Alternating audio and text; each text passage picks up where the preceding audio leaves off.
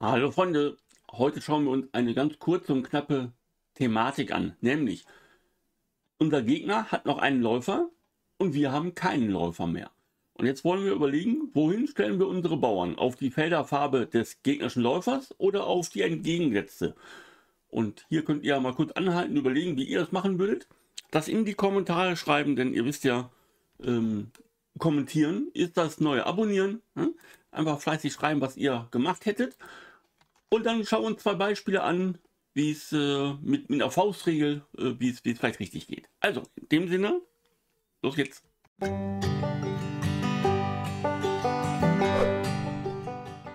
Dabei orientieren wir uns dann an einer Regel, die Capablanca selber aufgestellt hat, die natürlich im Laufe der Zeit ein bisschen modernisiert und angepasst wurde. Aber so grundsätzlich kann man sich als Faustregel daran orientieren. Nämlich, wenn der Gegner einen Läufer hat und wir nicht, dann stellen wir unsere Bauern auf die Farbe des gegnerischen Läufers. Und wir haben da mal, ich habe da mal zwei Beispiele vorbereitet. Das erste ist von Capablanca selber. Hier sehen wir mal, wir haben mit Schwarz etwas weniger Raum. Der äh, Gegner hat einen Läufer und wir nicht. Und jetzt gilt es darum, diesen Läufer auf B2 einzuschränken. Und das geht am besten, indem wir die Bauern auf die Farbe des Läufers stellen. Würden wir die hier auf G6 als Beispiel stellen, ja, würde der Lauf halt immer länger sein und im Zweifelsfalle, ups, ähm, ja, so, äh, äh durch F4 den Springer mal vertreiben und dann würde dieser Läufer vielleicht mal so richtig, richtig wirken hier bis, bis zum, ja. Und das, das wollen wir vermeiden und spielen deswegen F7, F6. Und damit ist dieser Läufer schon mal ein bisschen abgeblockt. Okay, wir folgen hier einfach mal der Partie ohne jetzt jeden Zug auf die Goldwaage legen äh, zu wollen, von Weiß und von Schwarz, aber achtet mal darauf, wie Schwarz seine Bauern postiert. Zunächst einmal normale Züge. Weiß versucht hier mit G4, um seinen, seinen ähm, Doppelbauern vielleicht mal irgendwie aufzulösen irgendwann. Das hat natürlich auch den Nachteil, dass er jetzt nicht mehr so gut F4 spielen kann, weil dann der G4 hängt. Und deswegen Zack, der nächste Bauer auf schwarz. Ja, damit wird auch das hier verhindert. Turm E2, der Springer geht zurück. Beide Seiten verdoppeln sich hier auf der, auf der E-Linie gleich, aber Weiß droht jetzt vielleicht mal mit B4 so ein bisschen Raumgewinn am Damenflügel. Zack, kommt der nächste Bauer auf sich. Man muss sich ja echt dran gewöhnen vielleicht, ja, wenn man es gar nicht gewohnt ist, dass, weil man denkt ja immer, oh, der Läufer kann jetzt hier alle Bauern angreifen. Ähm, natürlich sollten die gedeckt sein, ist ja klar. Ne? Aber dadurch ist eben auch der Läufer äh, eingeschränkt. Der kommt nicht so richtig vorwärts. Und ja, auch den nächsten müssen wir natürlich decken, aber der nächste Bauer auf schwarz. Und wir sehen, jetzt haben wir alle Bauern auf den schwarzen Feldern. Können hier dann verdoppeln, also irgendwas machen, hin und her ziehen. Und jetzt sehen wir, Weiß hat überhaupt keinerlei Durchbrüche und keine Hebel. Er hat nichts. Ja. Ähm, E4 ist jetzt nie möglich, weil der, weil der E4 dann in Gefahr gerät.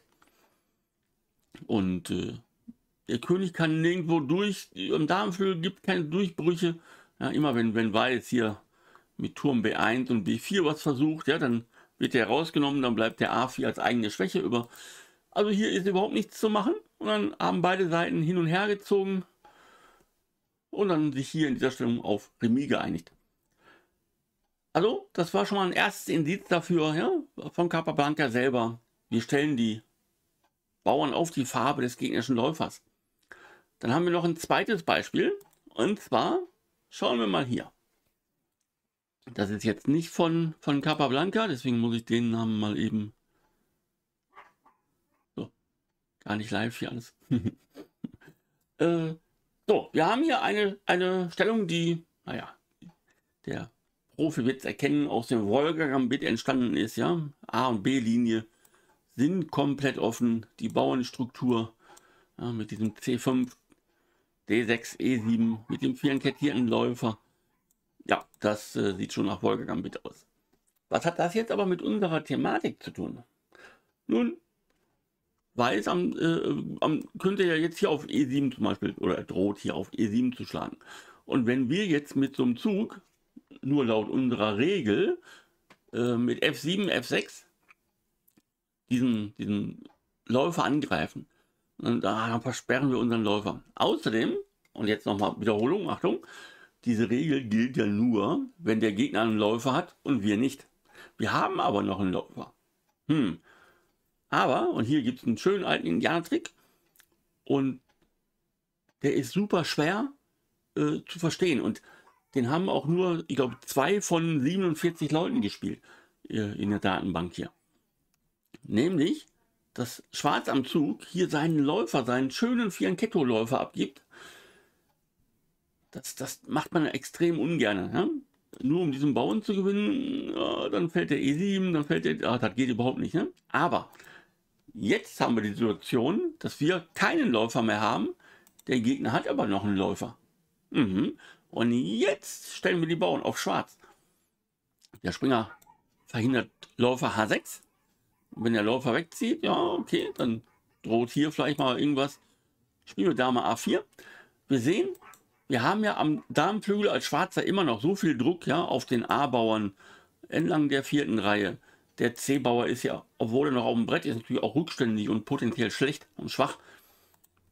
Ähm, und wenn der Läufer versucht, sich irgendwie zu aktivieren, ja, G5. Den nächsten Bauern auf Schwarz, den Läufer einschränken. Der muss zurück. Ja, und auf H3, ja, ja, den lassen wir aber schön stehen, diesen schlechten Läufer. Der muss hier wieder zurück und stellen unseren Springer nach F7. Und hier haben wir eine wunderbare Konstellation. Wir haben alle Bauern auf Schwarz stehen, aber wir haben ja gar keinen schwarzfälligen Läufer mehr. Super. Der Gegner hat den schwarzfälligen Läufer noch und der hat massive Probleme, hier irgendwie eine Aktivität zu finden. Während wir natürlich hier zum Beispiel Damen tauschen, äh, Turm A3 hier verdoppeln können, den A2 ins Auge nehmen können, mit Springer B6, Springer C4 und, und, und. Ja, alle Figuren spielen mit, aber der weiße Läufer auf E3 ist eben sehr, sehr eingeschränkt. Und das ist die Strategie. Dann, das sind die zwei Beispiele für heute, an denen wir uns so als Faustregel einfach mal ganz kurz und knapp, damit das gut ins Gedächtnis einbrennt, hat der Gegner einen Läufer, wir nicht. Stellen wir die Bauern auf die Farbe des Gegners, äh, des gegnerischen Läufers. Ganz kurz noch, äh, ja, wer, wer, mehr solcher strategischen ähm, Sachen mal, mal wissen will, lernen will, erfahren will, wie auch immer, da haben wir die Möglichkeit, am Samstags streame ich immer um 12 Uhr. Da machen wir eine Strategie-Session, anderthalb Stunden etwa, ja, mit verschiedensten Themen, ja, von Felderfarbe, bessere Leichtfigur und, und, und. Wir reden äh, über die Stellung, tauschen uns aus, Ideen austauschen, warum, wieso, weshalb irgendwas gut oder schlecht ist für die eine oder andere Seite. Also wer der Interesse hat, einfach mal samstags, 12 Uhr mittags, gerne vorbeischauen hier auf YouTube. In dem Sinne sind wir schon mal durch für heute. Ich sage äh, besten Dank und bis zum nächsten Mal. Und wer noch mehr zu diesem Thema wissen will, der schaut sich gerne links dieses Video an oder schaut sich ansonsten einfach noch weiter auf meinem Kanal um. Vielen Dank fürs Reinschauen und bis zum nächsten Mal.